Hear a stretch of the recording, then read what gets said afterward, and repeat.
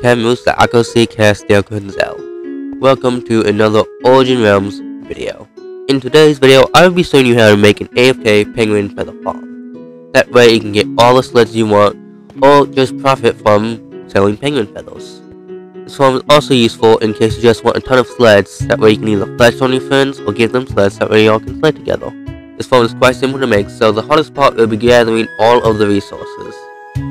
But before we start, if you're new to this channel, please consider subscribing and leaving a like. It helps me out a ton and it helps YouTube recommend my videos to others. That way my channel can grow. Now let's get into this penguin feather farm.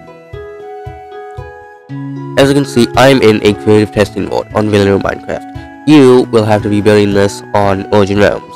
I'm just on vanilla Minecraft, that way it's easy for me to show you guys this because I'm really low on resources in Origin. Now, there's two ways to build this farm either dig two blocks down and put the rail system there and then put grass blocks on top of it or you can just put the rail system on some flat ground and have the blocks in the air. I'll be doing the second option. First, put the block of your choice in the lower left part of your farm. Next, down these two blocks here and place two hoppers. After that, make a line of 9 powered rails. Once you get to the end, make sure that you place two normal rails on the end like this. And then take some powered rails and make another strip like this. Once you get to the block right here, put more regular rails. And then you want to repeat this. Make sure that you have 9 lines of rails. Once you have 9 strips of rails like this, go ahead and place the block of your choice back at the end here. Pick a line of rails. You'll be using these again very soon. Take out these blocks here, right under where you took out the rails, and replace those blocks with redstone.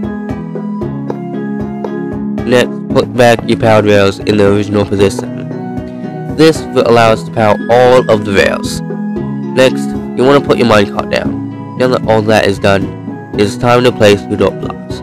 Whether you've built this underground or on top of the land like me, place down a dope block like this. It should be, it should look like this.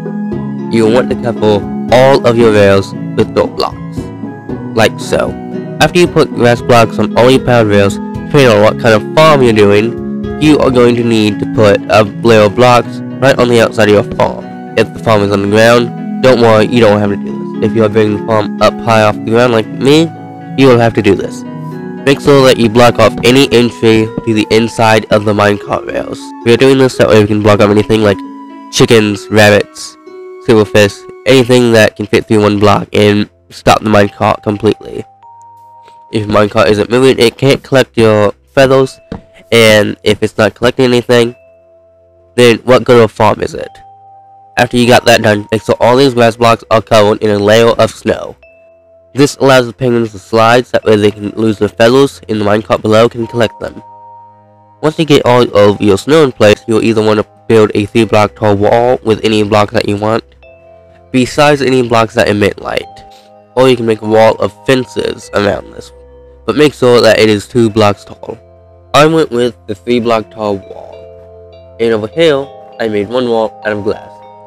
Next, take a chest and put it right here but make sure that the hopper is connecting to the chest.